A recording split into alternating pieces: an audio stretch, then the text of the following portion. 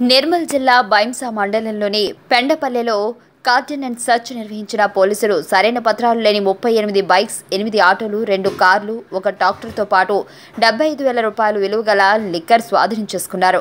ప్రతి వాహనదారుడు అన్ని పత్రాలు కలిగి ఉండాలని పోలీసులు సూచన లేని పక్షంలో వాహనాలను స్వాధీనం చేసుకుంటామని హెచ్చరిక.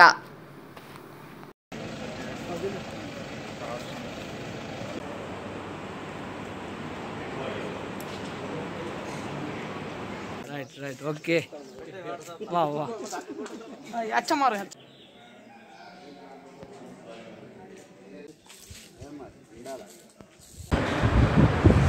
సో చాలామంది బండి కొంటారు కానీ దాంతోపాటు బండికి రిజిస్ట్రేషన్ చేయించడము లైసెన్స్ తీసుకోవడము కొంచెం నెగ్లెక్ట్ చేస్తారు.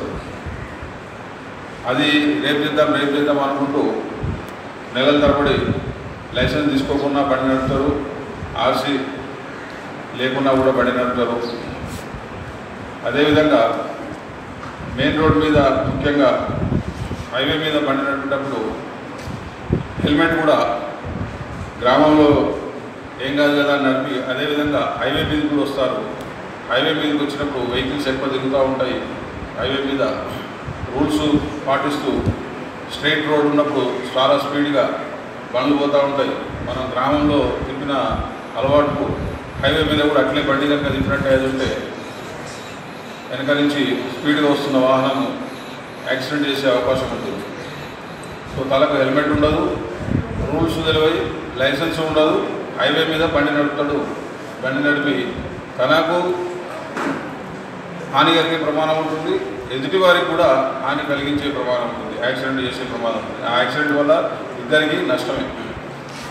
సో మీరే చెప్తున్నారు మీ గ్రామానికి వచ్చిన ఇద్దరు అగ్రికల్చర్ అధికారులు మోటార్ సైకిల్ మీద వెళ్తూ వెళ్తూ యాక్సిడెంట్ గురై ఇద్దరికి ఇద్దరు చనిపోవడం జరిగింది. నిన్న కూడా ఎవరో చనిపోయిందని చెప్పేసి యాక్సిడెంట్లో చనిపోయారని చెప్పేసి అంటున్నారు. యాక్సిడెంట్ అనేది ఏదో పిడుగుబడి చనిపోయాడు అంటే అర్థం ఉన్నది నాకు తెలియదు పిడుగు ఎప్పుడు పడుతుంది ఎక్కడ పడుతుంది వరదలు వచ్చి లేదంటే ఏదైనా వచ్చి ఏంటంటే మనం ఏం చేయలేము దాన్ని.